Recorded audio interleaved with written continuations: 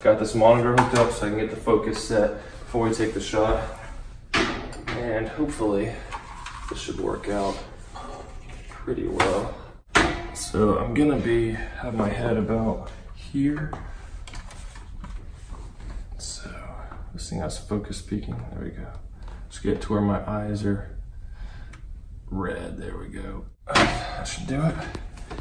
Take this out so there's no reflections on the glass.